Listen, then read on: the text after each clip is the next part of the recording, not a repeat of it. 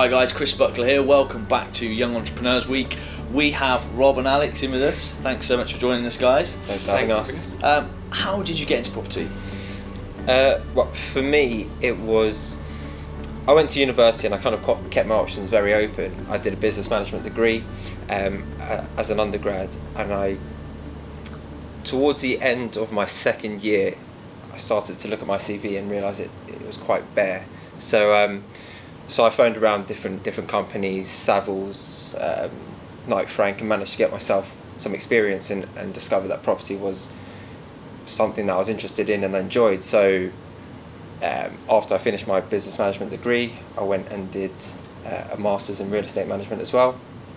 Um, kind of cemented my my thoughts that property was kind of the industry for me, and then I managed to find myself a career in property, and that's that's where I'm currently at at the moment. Okay, and how about yourself? Well, my brother would say that I'm following his path. He's a valuer himself. Okay. So if you were to ask him, he would say he's just copying me. However, um, it's actually quite a similar story to Alex over here.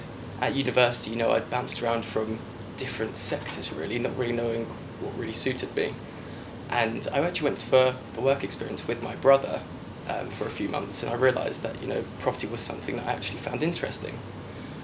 So after a little bit of deliberating, and um, after being at university with this one, we decided to enter into a master's course together in property, and that's really where the property journey began for us. Okay, cool. And fast forward to now, you've set up a business which sounds really cool.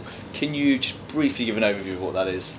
Yeah, essentially, what we're aiming to do is facilitate joint ventures across the property industry, and uh, and we're kind of acting as the broker, the middleman, to allow people to post projects and allow people on the other side to, to find and filter projects according to their investment matching criteria, um, so they can filter out specific projects which are relevant to them and their needs. Um, and essentially, we're trying to broker those deals and and bring bring a bit more clarity to the whole joint venture process in the industry. Okay, and you are you going through RICS accreditation? Is that right? Yeah, We we're- are. We are. Um, at present, we're just coming to the end of a two-year course and just coming up to um, sitting our exams, Yeah. handing in our submissions, and all through the stressful periods. Yeah.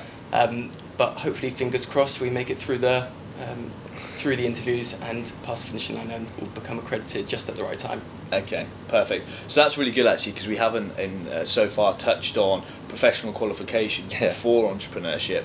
How do you think being RICS Creative will help you guys? I think in the property industry, especially, um, accreditation gives you a certain a certain gravitas, but because there are so many so-called gurus in the property industry offering their their advice and services, and you hear so many different stories of people getting burnt, like I spent fifteen thousand pounds on some property um, event that someone's going to show me how to make millions with no money down. Um, you get you get a lot of a lot of different courses like that, and if we can offer something alongside our joint uh, our joint venture uh, platform, such as training or um, advice and blogs that will help people understand how to navigate through the different property pitfalls. Valuations, for example, is like a key um, a key issue in, in the industry, and, and if, obviously if you don't know the value of your property, your land, how are you going to determine whether a deal is good or not? Um, so helping people and enabling a bit of clarification around the whole process and stopping people get burnt as well is, is going to be another important aspect in the in the platform. Okay, cool. So uh, fast forward a couple of months, both RICS qualified um, on this full time, which is pretty cool. What advantages do you think you'll have being two young entrepreneurs going into the industry? Well, I think it's um, the main advantage that we hold at the moment is our familiarity with one another, and what I think is our selling point as a um, as two people together. Um, because we've known each other for how long has it been? I think it's been some fourteen years. Too long. dating all dating all the way back to primary school. I think the the flow that we have between us, the bouncing off each other, and you know knowing how each other works, plus being accredited, it will give us that that advantage in the field, and hopefully be able to use that to drive forward. Okay, brilliant. So I, in my last business, I had uh, just one business partner, um, and we obviously set goals together and all that good stuff. How do you guys go about setting goals and, and actually holding each other accountable? Because you're obviously mates, Yeah. but at times you're going to need to have honest, fair um, sometimes tough conversations with each other. Yeah, I, I think, as Rob mentioned, the important thing with us is that we've known each other for so long, so we know our strengths and our weaknesses. Um, I'm more of an overall strategic thinker, whereas Rob is a lot better at the detail. Um, and, I think that comes together nicely, and we support um, our strengths and weaknesses like that. It balances out quite nicely, and the same goes for our RICS accreditation. Whereas I'm specialising in valuations, he's spe- specialising in property management. Um, so it all comes together quite nicely.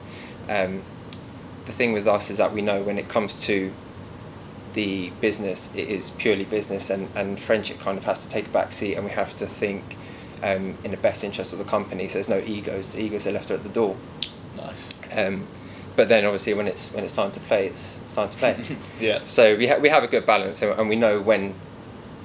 We, we know when to when to strike that balance, and we know when's appropriate to have fun and when's appropriate just to sit down and work through whatever needs to be worked through.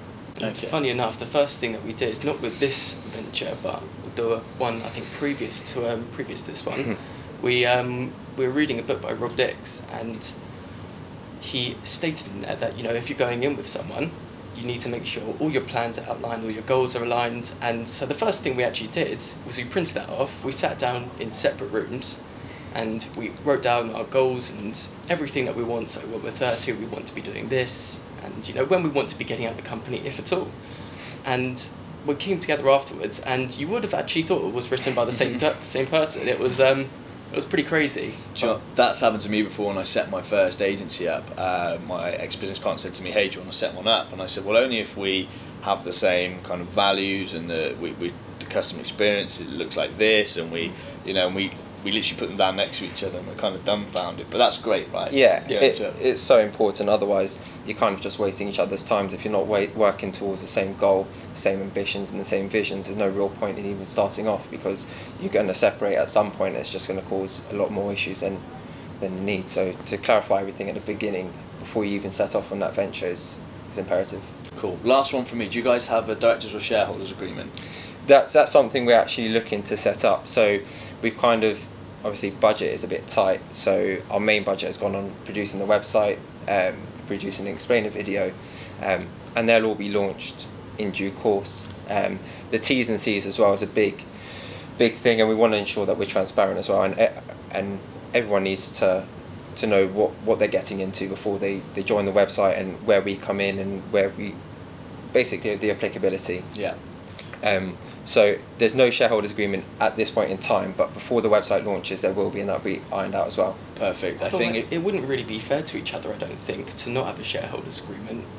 I, I think you're completely right. Yeah. And if there's one advi- piece of advice I can give on this this mini series is it's so important to have one because whilst you're best friends now, hopefully you'll be best friends forever and ever. Life changes. You might want to go off travelling. What does that look like? One of you might want to set up another side business. What does that look like? Yeah. Yeah. So, um, but what I find with uh, young guys when they set up their own businesses, oh, we'll do that in a few months, No. and then all of a sudden someone's had a kid, they want some time out. So my my nugget there is get it done ASAP. Yeah, Absolutely. it is definitely important, and we have spoken about it. Uh, and there's different options to go around with this, so we can have some sort of staggered, um, staggered shareholders agreement whereby you stay X years, you get X percentage of shares.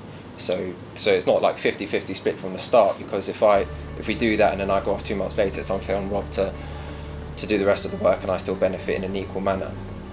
Um, so it'll be some sort of staggered agreement whereby we collect shares the more we are in that company and the more that time goes on. Yeah. But Rob- it needs to be ironed out. No, Rob, Alex, thank you. Two uh, technical answers, very well thought out answers, um, and I've taken a lot from that. So uh, thanks for watching.